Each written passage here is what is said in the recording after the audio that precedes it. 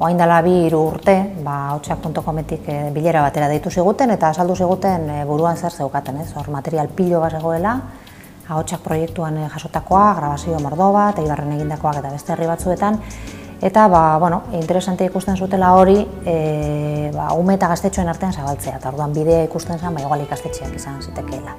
Guk ahotsak.com edo badiar duguk e, eskintzen dauen materialaren berri upi gauenien beraiekin harremanetan jarri Eta harrigarrisa injakun, ba, bertan injako lana, ez. Oso lan e, ondixe da, testigantza asko jasota dau bertan, gaitegisa izugarri zabala, eta berba itxen dauen jentearen perfila konkretua da, adineko jentia da, beste esperientzia batzuk, beste bizipen batzuk epitxakua, beste bizimodu batzuk epitxakua.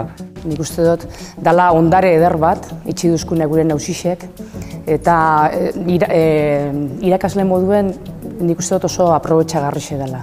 Euskarri digitalean dago, e, erresa da erabiltzen, eta bueno, ba, ikasliak eta geure laguntzarekin, irakasleon laguntzarekin, eta gu bideratuta ba, etekina atera diezaieke material honei. Ez.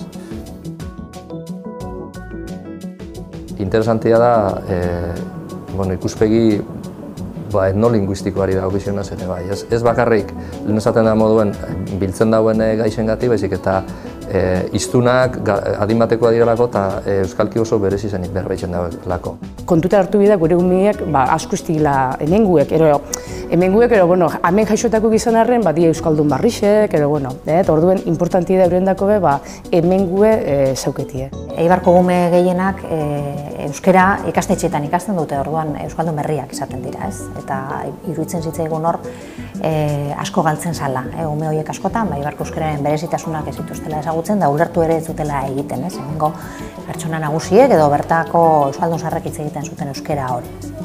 Orduan, bueno, iruditu zitzaigun horrek aukera ematen zigula eskolaren bitartez, ba, konexio hori egiteko. Harremana egon dadila gaur egungo ikasle eta aurren e, artien eta mundu hori ordezkatzen duten pertsonen artien, ezta.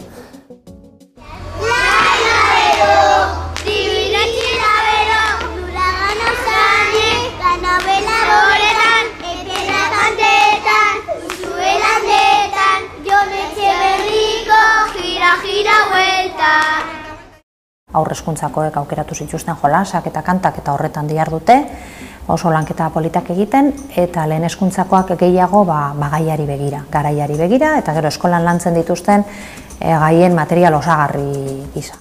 Mm, gukin gauena izan zen, e, gaika e, bueno, bertako materiala atara, ez da? eta orduen ba, eduki jakin batzuk atara, e, gu lantzen ari ginen gai horren arabera.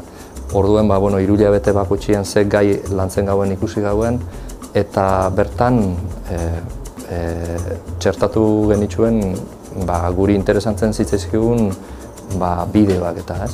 Eta ja, leleo komailatik gora, ba, ja, nik uste dut beste lanketa batzuk ingilik ez, ez bakarrik e, gaixe kontutan eukite, baizik eta hizkuntza konturatu daitezen, ba, euskera bat otek aparte, euskal kixe da zela, eta bueno, gure nausixe badukiela ba, mila berba, mila hitz ba, galtzen doi esenak, ez? Hori lehen, ospaldi, ba, etxeetan egiten zen, ba, ba sukaldean, ez da? Ba, etxitzen mamak kontua kontau eta umiak entzun egiten zituzten. Gaur egongo gizarteak askotan aukera hori ez digu ematen, ba, ez garelako bizi izaten askotan gure etxitza mamekin etxian, eta beste alde batetik, ba, denboraz beti presaka ibiltzen garelako eta telebistari begira igual edo interneten gehiago egoten garelako, ez? Orduan hor ikusten genduen ba, ba kontu asko kontatzen zirela, baloreak transmititzen zirela eta ba hor altxor bat e, zegoela eduki aldetik ere ez bakarrikan hizkuntzaren aldetik. Orduan animatzen zaitu danok erabiltzera, ikustera eta ez bakarrik umindako guretako politia dielako. Atzia mutxian pirulin plan, nere semia errotan. Amen.